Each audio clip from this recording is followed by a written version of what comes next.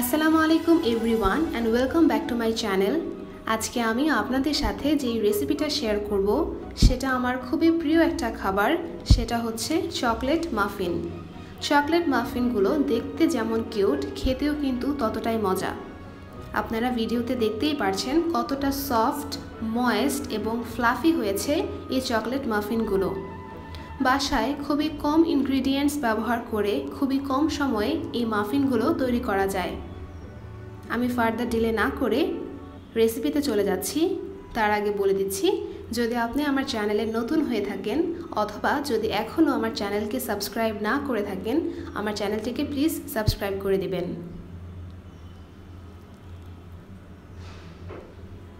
So let's get started এই মাফিনগুলো তৈরি করার জন্য যে ইনগ্রিডিয়েন্টসগুলো লাগবে, সেগুলোর ডিটেইলড লিস্ট ডিসক্রিপশন বক্সে দেওয়া আছে। প্রথমে আমি একটি বাটি নিয়ে নিলাম এবং তাতে আমি এক কাপ ময়দা স্ট্রেন করে নেব। এই স্টেপটা কিন্তু কোনোভাবেই ইগনোর করা যাবে না।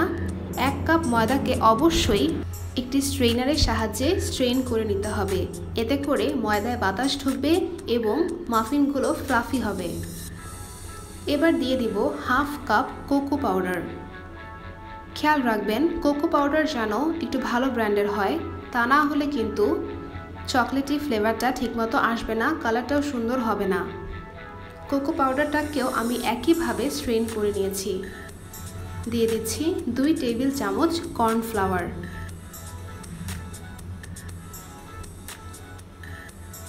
কর্নফ্লাওয়ারটাকে স্ট্রেন করে নিলাম এবং তাতে দিয়ে দিচ্ছি এক চা চামচ বেকিং পাউডার।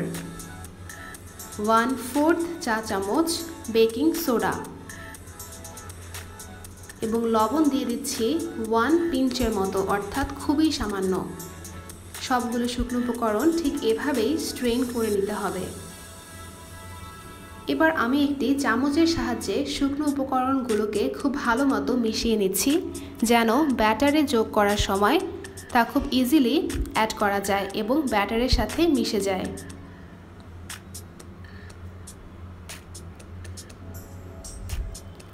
শুকনো উপকরণগুলো এক সাইডে রেখে এবার আমি হাফ কাপ দুধ নিয়ে নিয়েছি এবং তাতে দিয়ে দিলাম এক টেবিল চামচ ভিনেগার। মিশ্রণটিকে খুব ভালো মতো নেড়ে নিব এবং আধা ঘণ্টার জন্য সাইডে রেখে দিব। তৈরি হয়ে গেল বাটার মিল্ক। আপনারা যদি বাটার মিল্ক না খুঁজে পান, অর্থাৎ যদি বাসায় বাটার মিল্ক না থাকে, তাহলে আপনারা এই পদ্ধতিতেই বাটার মিল্কটা তৈরি করে নিতে পারেন। এবার আমি একটি বলে দুটো ডিম ফেটে নিচ্ছি। ডিমগুলো অবশ্যই রুম টেম্পারেচারের হতে হবে, তাই মাফিন বানানোর অ্যাটলিস্ট আধা ঘণ্টা আগে ডিমগুলোকে ফ্রিজ থেকে বের করে নিতে হবে। এবার আমি লো স্পিড ইলেকট্রিক বিস্কের সাহায্যে এটাকে কিছুক্ষণ বিস্ক করে নিলাম এবং এক কাপ চিনি অল্প অল্প করে ডিমের সাথে অ্যাড করে ফেলব। এক কাপ চিনি কিন্তু একেবারেই অ্যাড করা যাবে না, অল্প অল্প করে অ্যাড করতে হবে এবং উইস্ক করে নিতে হবে।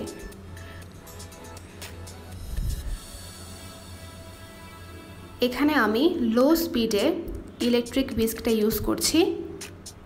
আপনারা চাইলে হ্যান্ড বিস্কের সাহায্যও করতে পারেন, তবে সময় এবং পরিশ্রম দুটোই বেশি লাগবে। এবার এতে দিয়ে দিচ্ছি থ্রি ফোর্থ কাপ অয়েল এখানে আমি নর্মাল কুকিং অয়েল ইউজ করেছি, আপনারা চাইলে বাটার ইউজ করতে পারেন, তবে অবশ্যই বাটারটা রুম টেম্পারেচারে এনে তারপর ইউজ করতে হবে। ডিরেক্ট ফ্রিজ থেকে বের করে ইউজ করা যাবে না। তেল দেওয়ার পর ভালো মতো মিক্স করে নিয়ে যে বাটার মিল্কটা তৈরি করে রেখেছিলাম, সেটা দিয়ে দিচ্ছি। আপনাদের বাসায় বাটার মিল্ক থাকলে আপনারা ডিরেক্ট বাটার মিল্কটাই দিতে পারেন হাফ কাপ। দুধ এবং ভিনেগার অ্যাড করার প্রয়োজন নেই। আমি এখানে এক টেবিল চামচ কফির সাথে এক টেবিল চামচ পানি মিশিয়ে নিয়েছি এবং এই মিশ্রণটিকে ব্যাটারে দিয়ে দিচ্ছি। কফি অ্যাড করার কারণে খুবই সুন্দর একটা অ্যারোমা আসবে। এবং কালারটাও খুবই পারফেক্ট হবে। দিয়ে দিয়েছি half teaspoon vanilla essence. আপনারা যদি অন্য কোনো এসেন্স পছন্দ করেন, সেক্ষেত্রে সেটাও ইউজ করতে পারেন। আরও কিছুক্ষণ বিস্ক করে নিলাম এবং এ পর্যায়ে অল্প অল্প করে শুকনো উপকরণগুলো অ্যাড করব, যেগুলো আমি আগেই চেলে নিয়েছি। শুকনো উপকরণ কিন্তু কোনোভাবেই সম্পূর্ণটা একসাথে অ্যাড করা যাবে না।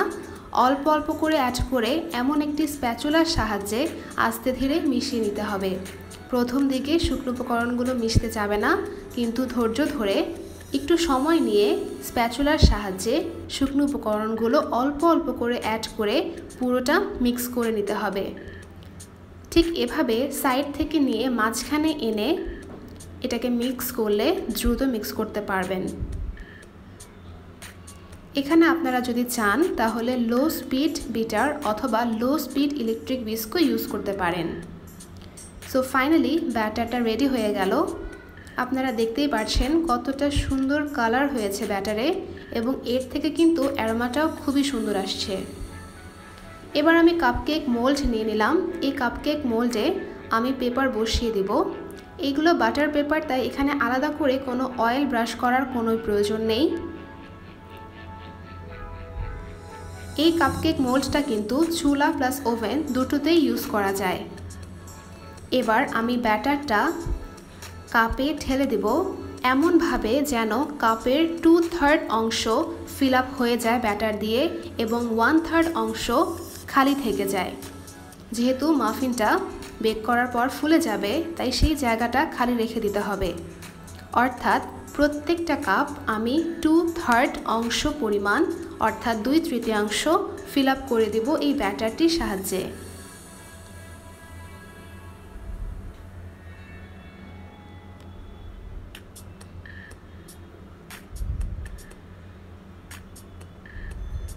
আপনারা যদি এটিকে চুলায় বেক করতে চান তাহলে নর্মাল কেক যেভাবে বেক করেন, অর্থাৎ একটি স্ট্যান্ড বসিয়ে হাঁড়িতে ঢাকনা দিয়ে ঢেকে ঠিক সেভাবে বেক করা যায়। তবে আমি আজকে এটাকে ওভেনেই বেক করব।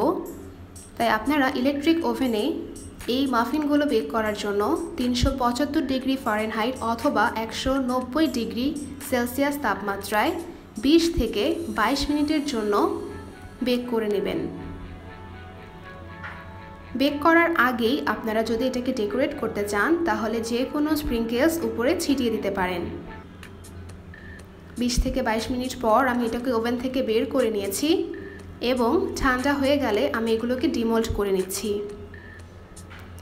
সো ইউ ক্যান সি এগুলো কিন্তু অনেকটাই ফুলে গেছে এবং যে অংশটা খালি রেখেছিলাম, সেটা সুন্দর মতো ফিল হয়ে গেছে। You can see how cute little muffin they are and they are looking so beautiful. আমার চ্যানেলে অন্যান্য কেক অথবা ব্রাউনের কিছু রেসিপি আছে। সেগুলোর লিঙ্ক ডিসক্রিপশন বক্সে দেওয়া থাকবে। আপনারা সেগুলোও কিন্তু একবার দেখে নিতে পারেন।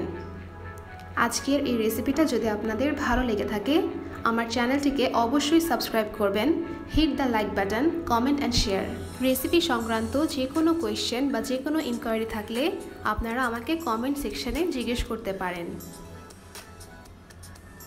Thank you for watching and keep supporting thank you